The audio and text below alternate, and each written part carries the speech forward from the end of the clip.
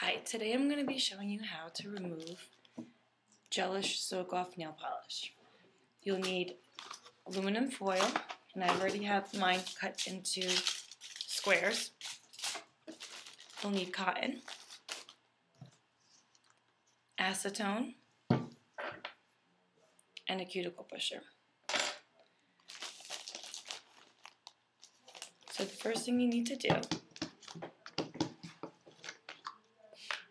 is saturate your cotton uh-huh. ball or cotton swab with the acetone. And then you're just going to wrap your finger with the foil.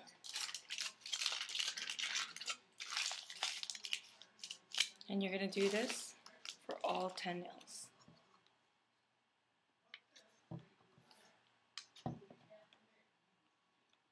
Okay, now that you have them all wrapped, you can just let them sit for 10 to 15 minutes. Okay, it's been exactly 15 minutes. So all you have to do now is remove the foil.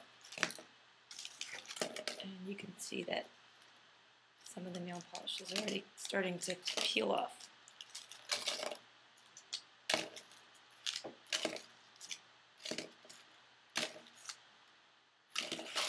Okay, and you take your cuticle pusher and you're just going to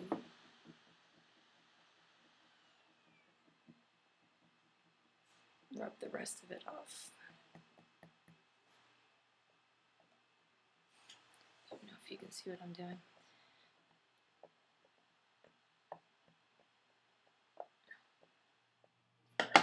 And that's what it looks like.